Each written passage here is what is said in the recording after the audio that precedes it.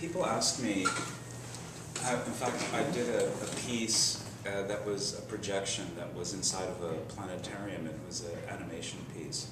And one of the questions was, uh, did Sister Karen leave a big impact on your work? And I, I, you know, I'm looking at the person as they ask that question, and you know, I thought about it. It's like I could go into it because there's an audience here, and I just looked at him and said.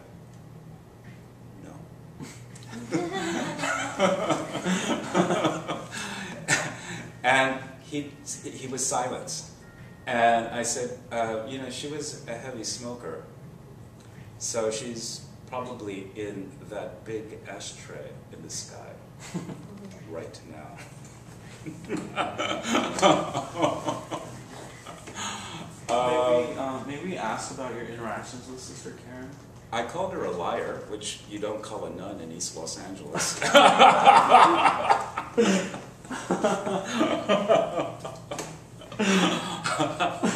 I didn't realize that. I thought she was a human being and you can speak the way you want to, but apparently, you know, you use language like that and, you know it frightens people.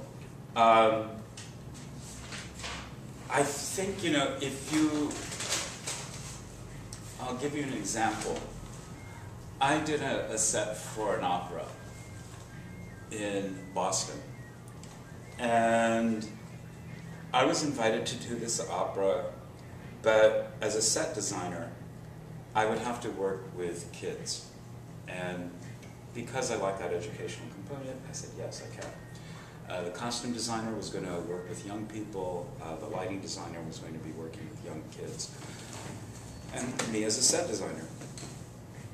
Now, the um, director of that opera uh, I had never met before. I had I've done uh, stage pieces where I've worked closely with certain directors and you just have an affinity or always communicating with and having a relationship. You sit next to the director and they're watching things and you're whispering back and forth about different things. Oops. I forgot to turn off my phone. Uh, that's nauseating. Well, if you need to answer that, uh, we can No, no. pause the video. No, it's fine. Um, so uh, I was brought in to do this set and work with teens. Uh, and the teens were great, uh, really enjoyed uh, working with them. And they noticed that I didn't get along with the director. It was a woman who, on my first conversation, I met her over the phone, and she said a few things where I just thought, "Whoa, this is going to be difficult to work with a person that has this kind of mindset. And she came out of musical comedy, not really opera. So I kept on envisioning Bob Fosse kind of dance movements, or jazz hands, jazz hands. And sure enough, that's what they were doing. I thought, this is something I really don't like. But I, was, I talk to my students openly and honestly, and they know, they can sense. You're not sitting with the director, you don't even have lunch, you don't even talk to the director.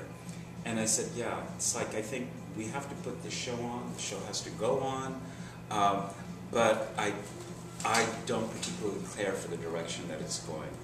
At Self Help Graphics, it was the same way. It was, yes, it's a place, but I just don't want to have any dealings with the person that is in charge of this place.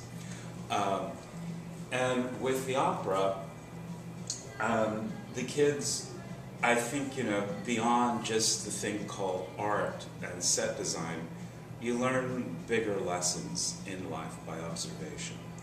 And that's how my teaching is in many ways, is um, I will explain to them, have, sit around a table, talk to them about how something uh, or how I conduct myself uh, in a situation like this. And I, I'm kind of telling them about how, you know, sometimes when we have a job, when we work with people, it's called collaboration. We have to, in some way, work together. Now, as you all know, I'm not enamored by the person, so I'm not going to sit and say niceties and, and be, know, somebody that just mouths these things. It's like, no, I'd rather not say these things and just let them conduct their lives. And, and I said, you know, that's how you can maneuver your way through life in many ways as well, because there's going to be a lot of assholes that you run into, but you're going to have to deal with it in certain ways. And this is the way I've chosen, so I'm giving you an opportunity to watch this.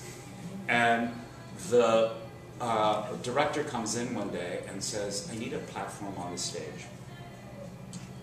And I just think it's a horrible idea. Horrible idea. And the kids, uh, where's it going to go?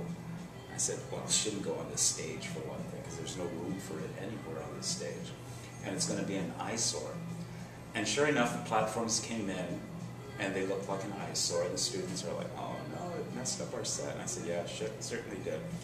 But she wanted this. Okay, now, we can't change that that looks ugly. What do we do with it? We're not going to try to make it pretty. We're going to try to make it uglier than it already is. Write that down in your little notebooks.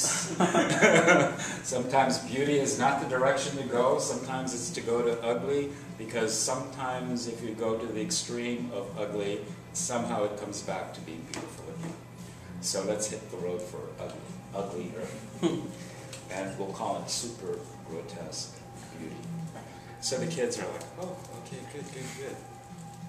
So we did the platform, it was on the stage. The director gets on the stage the night of the opening. There's you know, big audience uh, in the theater for the piece, for the opera. And she's like talking what a great honor it was to be working with everybody. She was everything I'm not. And uh, you know, she was like talking about how great was working with all so and so, young youth, and all of that. And I'm in the lighting booth, which is kind of a big room above, looking down at this spectacle with my students who are now working with the lighting designer. And then one of my students, and these are teens, these are high school students, one of them says, Where'd she go? She had fallen off the platform that she had ordered. And all of the students and the whole audience goes, ah. you know how that big collective wave? she gets back up, she dusts herself up, she's wearing her best, you know, of course, it's the opening night of the show. And she gets back onto the stage, and the students open up your book. I've got a new word for you karma. so, back to Sister Karen. That gives you kind of an idea of how I dealt with the situation of creating art there. It was to disengage. It was taking something that you knew was very conventional, very conservative, and an idea that was already put in place, and not agreeing with it. But I would continue to do it because I knew it would have repercussions elsewhere. Perhaps there is that young student there that sees the work and says, you know, this is, where's the the skull head, whereas it doesn't have it. Uh, well, Gronk is creating a new language, a new visual language. So for me, that's important.